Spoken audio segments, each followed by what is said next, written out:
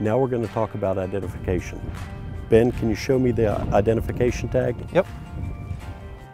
So all the identification tags are going to be located on the top of the Kelly bar next to this flange here. The, to start it off with, you'll find the Bauer serial number located on the tag stamped in.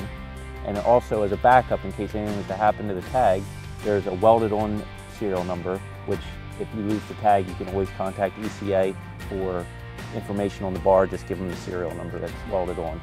Next on the tag is the model.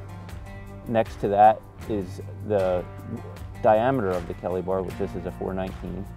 Then directly below that will be the number of stages. This one's the three stage, so it has a number three, dash 30. 30 is the length of the bar when it's fully extended, 30 that's meters. It. That's the total length, 30 Yes, meters. The drilling depth. Following that down is the year of manufacture.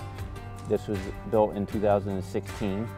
And below that is the weight of the Kelly bar in kilograms.